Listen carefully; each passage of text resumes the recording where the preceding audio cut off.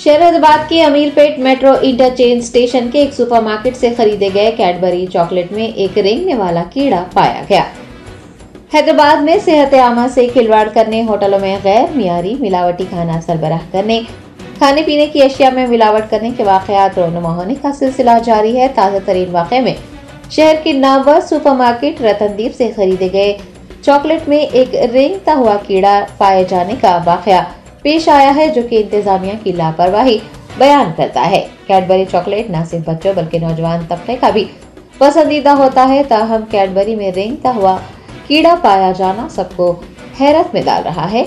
Robin Jacques नामी शख्स ने ट्विटर पर एक वीडियो पोस्ट की है। वीडियो में डेरी मिल्क चॉकलेट में एक कीड़ा रेंगता हुआ नज़र आ रहा है। रॉबिन ने कैडबरी हैदराबाद के अमीर अमीरपेट मेट्रो इंटरचेंज स्टेशन के रतनदीप सुपरमार्केट से खरीदी थी। उन्होंने खरीदारी का बिल भी शेयर किया है और जीएचएमसी से शिकायत की है कि वो मुनासिब कार्रवाई करे। इस पर रद्दमल का इजहार करते हुए जीएचएमसी ने फ़ूड सिक्योरिटी टीम को फौरी तौर पर कार्रवाई करने का हुक्म जारी किया है।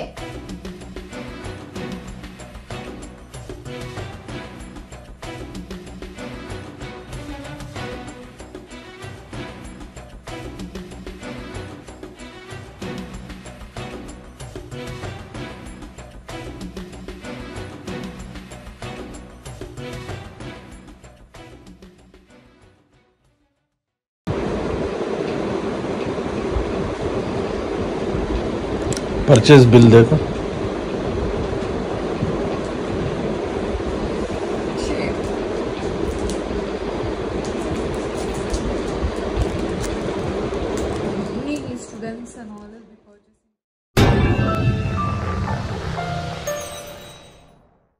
Germanten super speciality hospital, doctor Mir Jawad Zar Khan, senior experienced orthopaedic surgeon, bone fracture, joint replacement hip replacement और स्पाइन सर्जरी कामयाबी से अंजाम दे रहे हैं।